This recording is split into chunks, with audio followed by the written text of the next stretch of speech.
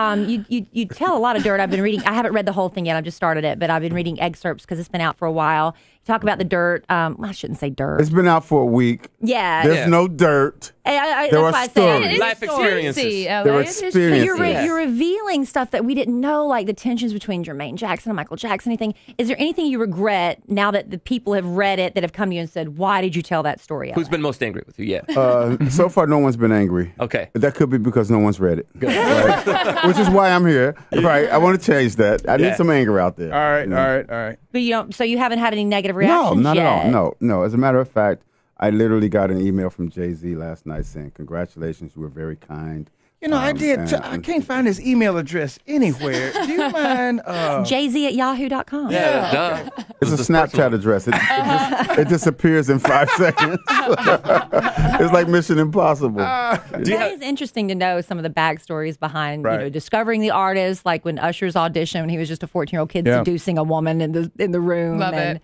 and That Jermaine and that moment. whole tension with him and Michael Jackson. I mean, I was Yeah, just those really are- those are some good moments. But but those are like um like if I'm being honest, if if you don't read it and you just go for like the big name, those are the stories that come up. right? yeah. But it's so much better than that. It Right. really is. Like it's so much because it really this the the book is really about like the peaks and valleys in my life, right?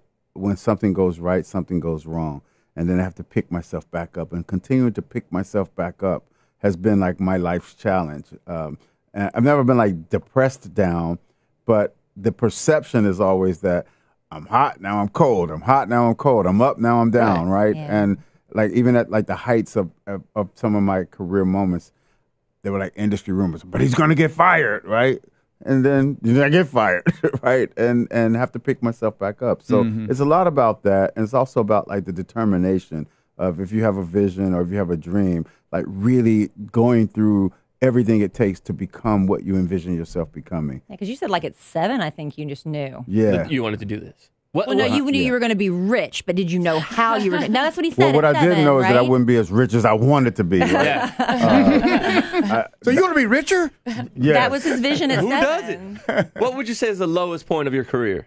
That where you were just in the uh, dumps and you're like, Like I I've need never been get, in the you've dumps. never been in the No. dumps. No, no, no. I've the, I've I've had the the lowest points are when when people are when the chatter when the chirpy birds Yeah, don't think I can hear them and you hear them. and I can hear them. Right, those are low points because you don't. I mean, I, I don't know about you, but I don't want people to say bad things about me or or Sure. or to wish bad upon me. Why, That's why I hate Twitter, LA.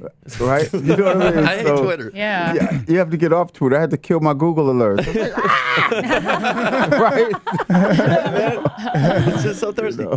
do, do you have somebody up your sleeve right now that you've been working on that's like a oh, the next new Oh, an the artist next to watch? you got a teen? I have a girl that that I'm really excited about. That I'm going to go on record and say she's next. Her name is Zara Larsson. Zara Larsson. Zara LA Reid Larsson. says Write it Zara down. Larsson is the next big thing. Well, Yeah, bring her in. We'll put her on. She's something special. We'll, yeah, bring her, we'll put her on.